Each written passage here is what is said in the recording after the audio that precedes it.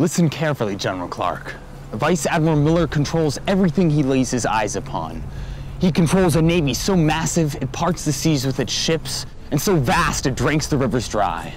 All that the Vice Admiral requires is a simple offering of earth and water, a token of the Army's submission to the will of Navy. Submission? My understanding is the Air Force has already turned you down. And if those Zoomie philosophers and Falcon lovers have found the will. Sir, we must be diplomatic. They are, after all, a sister service academy.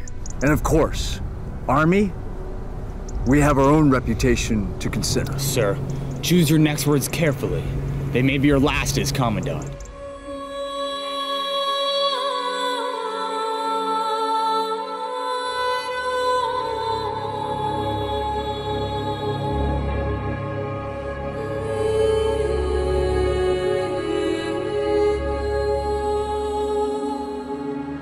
Earth and water. Madman! You're a madman! Earth and water?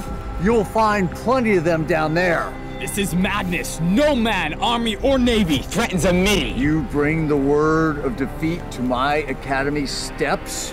You threaten my command, Sergeant Major? You threaten my people with goats and buffoonery? Oh, I've chosen my words carefully, midshipman.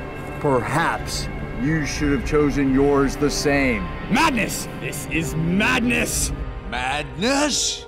This is Army!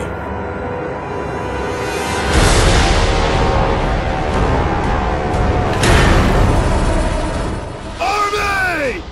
What is your profession?